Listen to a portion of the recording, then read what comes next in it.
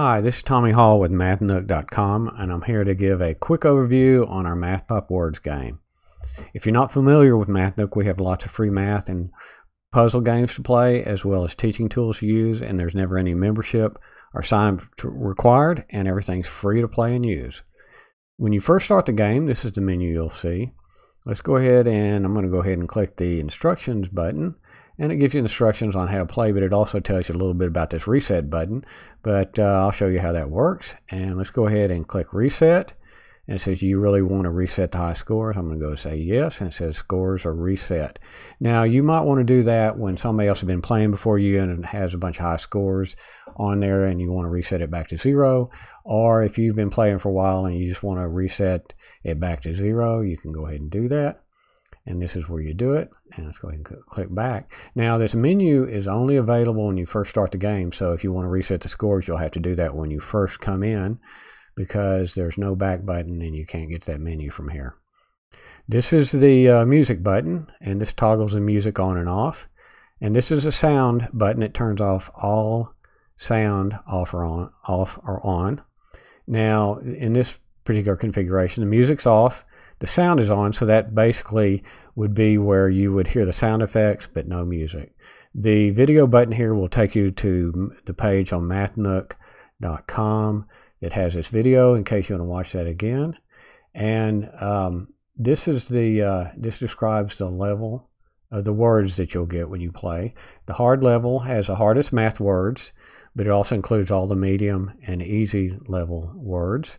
And the medium level has uh, medium level, uh, I guess medium level difficulty of words, and but it also includes the easy level, and then the easy level has the basic math words. Now this is a hangman type game where when you guess trying to you'll be trying to figure out what the word is by guessing letters, and if you get the letter right, it'll fill in the where the where the where it goes in the word. If you get it wrong, hit math pup here his fuel goes down and he drops down a little bit further. And if he runs out, totally runs out of fuel, he will be caught by the dog catcher here. And I'll show you how that works. Here is the word moving the opposite direction as the hands on a clock. Now, that should be counterclockwise, but let's go ahead and guess some letters here, and you'll see them as I guess the letters that they fill in up there. And if I guess one wrong, you'll see that the fuel, MathPup fuel goes down. He drops down a little bit closer to the um, dog catcher there. Now, the saved here refers to your score, and that's really when you how much fuel you saved. And the best is your best running total of all your scores that you get before a math pup is caught by the dog catcher. So let's go ahead and complete this word counterclockwise. Uh, see which ones I haven't got. And there we go. Go ahead and get the next puzzle. And answer to a subtraction problem would be the difference. But let's go ahead and I'll show you what happens when he got when he gets math pup gets caught. And we're down to two. Oh, that's in there. Now the last one, I would need to fill out this word totally to keep going. Or if I get it wrong, he gets caught by the dog catcher and he's in his cage. And it tells you what the answer is here.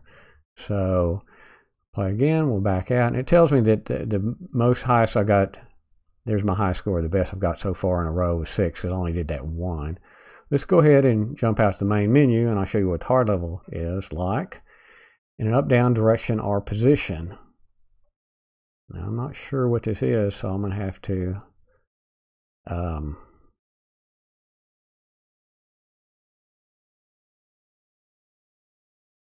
ah, vertical. So that is a probably a little bit more difficult word. I'm not sure if that's actually a medium a hard level word, but we'll go ahead and Take a look at the next one. It'd be adjacent. So that gives you an idea of what words you might run into. But you will sometimes, and I'll go ahead and show you, sometimes on the hard level, you'll get some easy words. Baker's Dozen, that should be 13. So that is probably medium or easy word there. So that shows you how the hard level works. And medium's uh, words in a little bit uh, in between those two. So, anyways, I hope you uh, hope you enjoy this game. I hope the uh, uh, hope this videos help some, and thanks for watching.